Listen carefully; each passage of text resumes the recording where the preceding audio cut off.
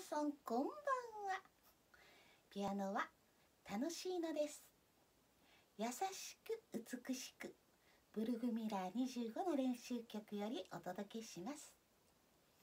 1日に5回5分少し練習時間を決めて弾くだけで少しずつピアノは弾けるようになります。こんな優しく美しい先生ピアノはとっても楽しくなりますよ。ミュージック。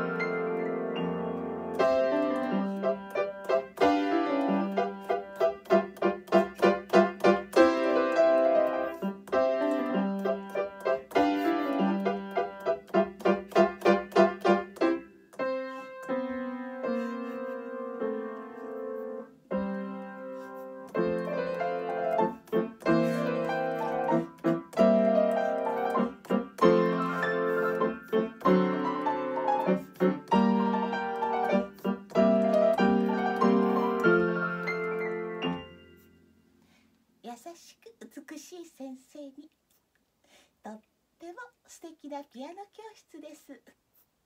明日も楽しいお話を待っています。